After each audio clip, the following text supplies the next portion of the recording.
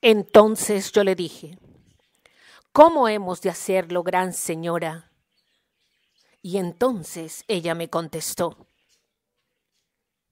ciertamente ellos tienen armas, y armas muy poderosas y sofisticadas. Pero el poder es del hombre y la mujer, solo que ellos aún no lo saben.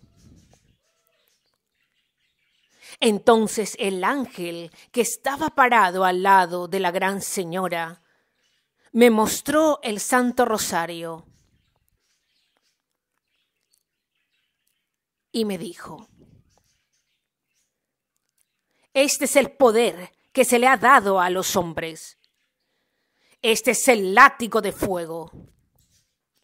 Con ello sacarán a la antigua serpiente de sus mentes y de sus países.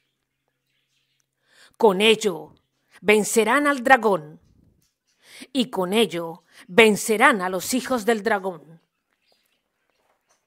Porque tuyo es el poder, la honra y la gloria.